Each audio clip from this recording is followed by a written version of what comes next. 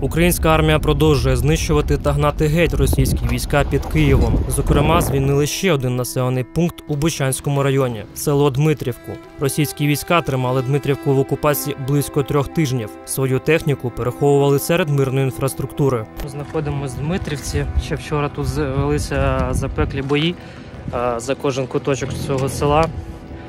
Вчора тут відбувся танковий бій, в якому російські окупанти зазнали нищівної поразки. Увесь цей час в селі лишалися мирні мешканці. Йшла колона їхня ру- руська.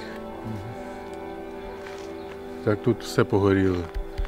Перший раз, коли стріляли, два двора тут згоріло. А потім вже вчора, ну, позавчора, вчора тут все вже понакривало. Як сказали, градами цю колону накрили. Саме звідси ворожа артилерія гатила по позиціям українських захисників. Стояли, и отсюда они нам артиллерии насыпали. Визволяючи цей населений пункт, українські війська вщент знищили колону російської техніки разом з їхніми екіпажами.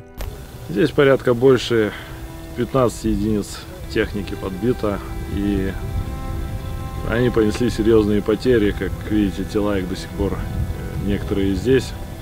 На російську колону бронетехніки українські воїни кинули усю свою лють в прямому сенсі цього слова.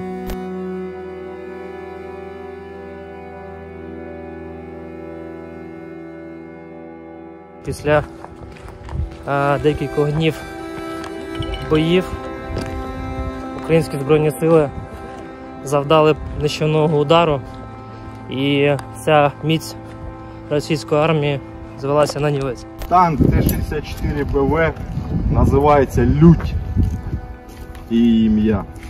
Це все робота танка. Там якась з них, не знаю, там ще інша машина у нас працювала, яка мене поміняла. Вчорашній день. Проривались бабушкиного сада, нарвались на мою машину. Я їх, грубо говоря, із жопи і в борта отут розстрілювати почав. Там, де далі моя друга машина мого взвода, там я їх розібрав. Ну, ви бачили, мабуть. За окупацію українського села російські солдати поплатилися життям та своїми іменами, адже ідентифікувати в цих рештках, що колись були російськими солдатами, а за сумісництвом синами виборців Путіна вдасться далеко не всіх. Чи зрозуміють їхні матері, за що помирали їхні діти? Все, що осталось від пацанів, хоча які пацани, це не люди навіть.